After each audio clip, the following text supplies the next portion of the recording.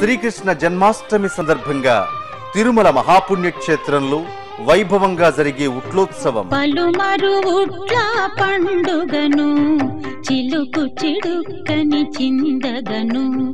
పలుమరు ఉట్ల పండుగను చిలుకు చిడుక్కని చిందగను.